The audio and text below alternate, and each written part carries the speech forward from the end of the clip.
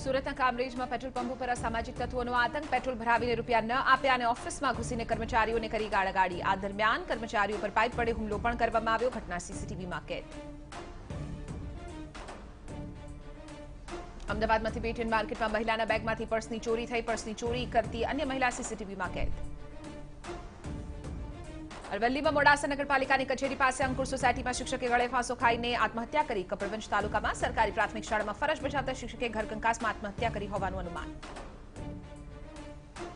બનાસકાંઠાના થરાદના સુંધલનગરમાં થઈ ચોરી બંધ મકાનમાં ચોરોએ કર્યો હાથ ફેરો સોના ચાંદીના દાગીના સહિત એક લાખના મુદ્દા માલની થઈ ચોરી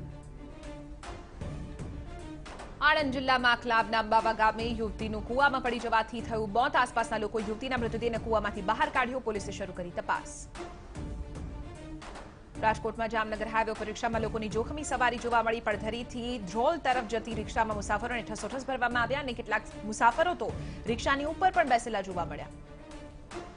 ગોધરામાં કબ્રિસ્તાન પાસેથી મળી યુવાનની લાશ શહેરના ગોંધરા કબ્રિસ્તાન પાસે લાશ મળી આવતા ચકચાર પોલીસે શરૂ કરી તપાસ ભરૂચના આમોદનગરના ગાંધી ચોકમાં દેરાસરમાં થઈ ચોરી દેરાસરમાંથી ચાંદીના છત્રીસ સહિત એક પોઈન્ટ એંશી લાખના મુદ્દામાલની કરાઈ ચોરી સમગ્ર ઘટના સીસીટીવીમાં કેદ અમદાવાદના પાંજરાપોળ વિસ્તારમાં અંબાવાડી ચાર રસ્તા પાસે ડમ્પરની ટક્કરે મહિલાનું મોત ટુ વ્હીલર ચાલક મહિલાનું ઘટના સ્થળે મોત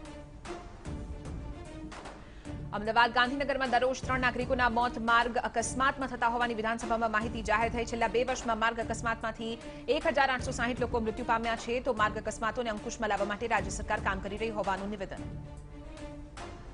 અમદાવાદ જિલ્લામાં મચ્છરજન્ય રોગચાળો વકર્યો પાછલા બે વર્ષમાં જિલ્લામાં ડેન્ગ્યુના પાંચ હજારથી વધુ કેસીસ નોંધાયા તો અગિયાર હજારથી વધુ દર્દીઓ મેલેરિયાનો ભોગ બન્યા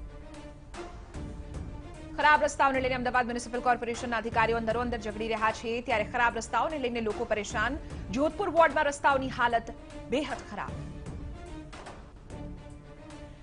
આણંદ એગ્રીકલ્ચર યુનિવર્સિટી અને national institute of occupational health Ahmedabad દ્વારા એક ચોંકાવનારો રિપોર્ટ સામે આવ્યો જેમાં બજારમાં મળતા શાકભાજી અને ફળોમાં જંતુનાશક દવાઓના અવશેષ મળ્યા શાકભાજીમાં મળેલા દવાના અવશેષો સ્વાસ્થ્ય માટે હાનિકારક હોવાનું ખુલ્યું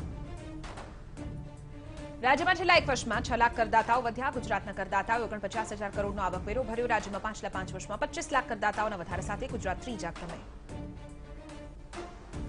સાબરમતી નદી સહિત અન્ય નદીઓમાં દૂષિત પાણીથી મુક્ત કરવાની ઢીલી કામગીરીથી નેશનલ ગ્રીન ટ્રિબ્યુનલ એનજીટી નારાજ એનજીટી એકત્રીસ માર્ચ બે હજાર વીસ સુધી સુધારાની કામગીરી હાથ ધરવા માટે કર્યો આદેશ